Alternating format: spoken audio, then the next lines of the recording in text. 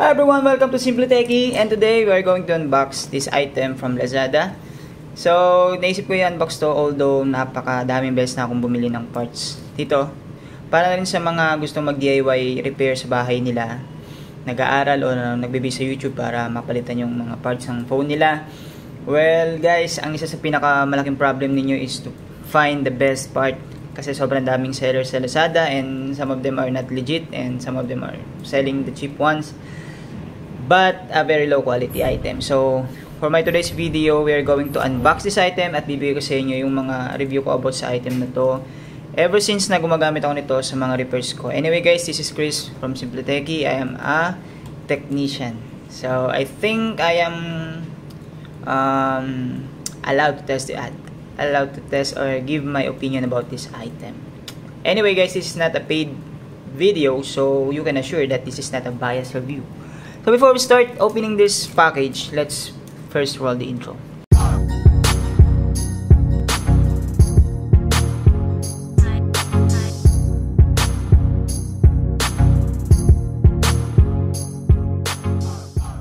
Alright guys, so as you can see right now in the front of my camera, we have the item from the iParts Expert. But the Lazada link and Shopee link for this store is the TVCC. So I will put the link on the description. So just in case that you want to buy it yourself, you can just click the link on the description and then it will redirect you to the to the uh, um, product itself. So let's open the item. So, at the back of this package, you can see what's inside this package. We have iPhone 6 iPads quality LCD touchscreen. So, this is a uh, complete set replacement for our LCD. iPhone 6 replacement LCD. Dumating to guys without any styrofoam. Ang nandito lang guys is yung itong box na to. Pero very safe naman kasi And I ordered this one kahapon ko lang to yata in order nung isang araw. Parang wala pang 2 days dumating na sa akin yung order. Napakabilis. Actually, I've been trusting this brand since nag since sa mga repairs ko, ever since sa mga repairs ko, guys. Dahil yan, napaganda ng quality ng LCD niya, pero hindi siya ganun kamahal. So, yan. Ito yung laman ng, ito yung laman ng package. We have the wipes. Yan. Para lang yan sa tempered. Kasi meron din po siyang free tempered glass.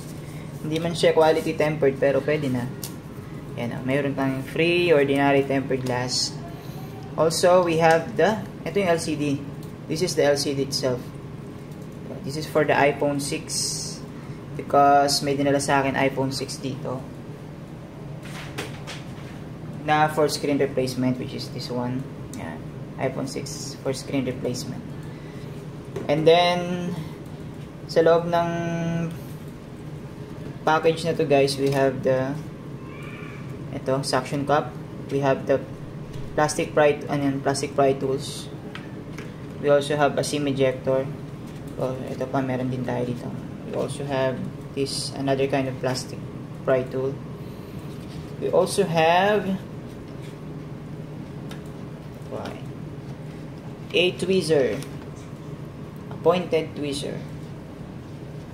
So guys because I've been ordering a lot from this store nakaipon na ako ng ganito maraming mga tweezer. And kung bibili nyo to guys probably nasa 50 pesos din ang isa nito. Yung iba mas mahal pa. And also guys we have the screwdriver. So nakita ko sa review sa Lazada sabi nila meron daw screwdriver. Ito, napakaganda ng screwdriver nito guys. May tatak din ng iParts Expert. Yan. Oh. Tapos sobrang yan. Oh.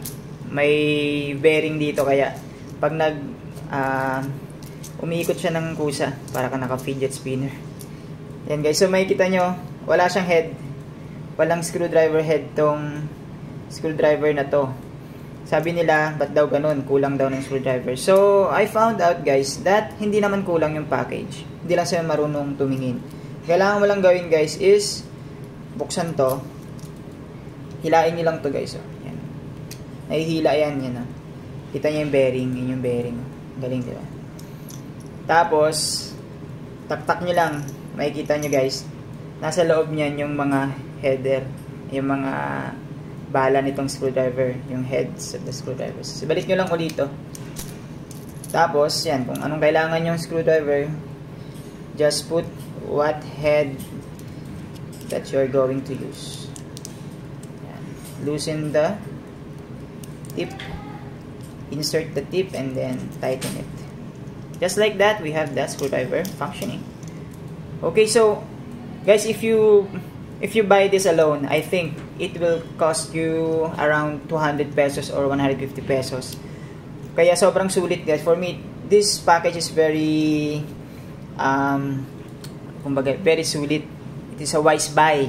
Bakit? Kasi the price of this LCD is only 800 uh, something if you buy it on another store you can buy some cheap LCD with the same price but without this um, repair toolkit this repair toolkit is good for a lot of repairs guys not just for one repair kasi look at the quality of the item look at the quality of the holder it is made of aluminum this is pretty nice guys So, yun. Hindi ko natuturo sa inyo kung paano to install. You can refer to my other videos kung gusto nyo malaman kung paano to install. Ngayon, bibigyan ko lang kayo ng konting mga masasabi ko about sa LCD na to.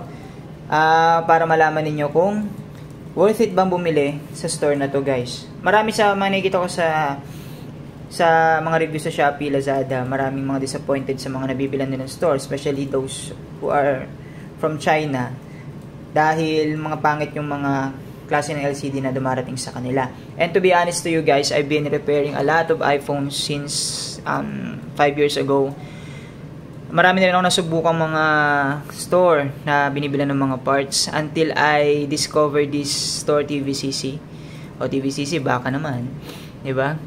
Although this is not a paid diba, advertisement, pero Actually, sinashare ko sa inyo para makatulong din, lalo ngayong pandemic. Alam ko marami sa inyong mga may sira ang phone nila. And hindi nyo madala sa technician, una kasi mahal maningil, pangalawa, dahil gusto nyo makatipid o hindi kayo makalabas. So, this is a very good option for you to do since hindi naman nangangailangan ng sobrang galing na skills para magpalit ng battery or LCD ng isang iPhone. Okay guys, so this parts is not the same as those Class A LCD na mabibili mo sa market. Kasi yung Class A LCD guys, ay hindi ko na mapapakita sa inyo yung eksaktong itsura ng screen. Pero, for me, it is a rubbish. Para sa mga masaselan sa LCD, sa type ng LCD na ginagamit. Guys, ako maselan kasi ako sa LCD. As much as possible sa mga customer ko, gusto ko makakontento sila kahit hindi sila masyadong namahalan o gumastos ng mahal. Guys, yung fake LCD kasi guys, yung Class A, masyadong bluish yung screen niya at medyo laggish o mahirap i-touch at hindi rin tumatagal unlike sa mga LCD ng TVCC or ng iParts Expert guys na hindi siya hindi siya ganoon kaganda sa urig pero yung kulay niya guys, yung contrast niya is very decent na rin para sa presyo niya. And also guys, matibay din kasi sa mga customer ko na nagawan ko dati. Wala naman nagsabi sa akin within, actually, hindi na nga bumalik yung iba eh. I mean, hindi na, nag, wala nang back job. Hindi na na sinabi na, uy, nagloko yung LCD ko within a month, within ano. Yung iba, year na. So, I've been changed iPhone 7 Plus, iPhone 7, iPhone 6, iPhone 5, iPhone 5S, iPhone uh, 8 Plus, and itong huli, itong iPhone 6.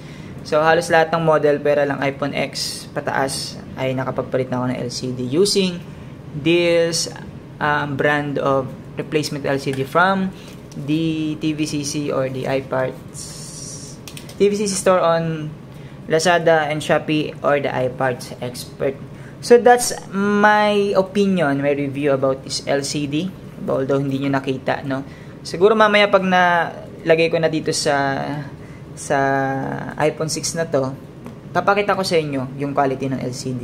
And kayo na rin mag-judge kung magugustuhan ninyo. If you want it, then buy it. And do it yourself papakita ko rin sa inyo kung paano magpalit. Actually, may video na ako kung paano magpalit eh. Lagi ko na lang sa description. Although, that is just a time-lapse video. Pero pwede nyo rin yung gawing refer. Um, pwede, nyo, pwede kayo mag-refer doon para magawa nyo yung sarili nyong iPhone. So, that's it for our video. This is a 10-minute video, I guess. Pag na-edit ko to kung iiksi pa. Yan, naisip ko lang gawin to kasi alam ko marami sa inyo nagtatanong, marami sa inyo nag-iisip. O kaya, uh, para hindi na, na kayo mahirapan maghanap ng mga parts. Uh, hindi na rin kayo mabogus, hindi na rin kayo uh, magsayang ng pera, ng panahon. Ito, kung nagustuhan niyo yung video na to, please don't forget to like, subscribe sa channel natin, Simply Techie, and always remem remember everyone that technology is not that complicated. Ingat tayo lagi. Peace out. God bless everyone.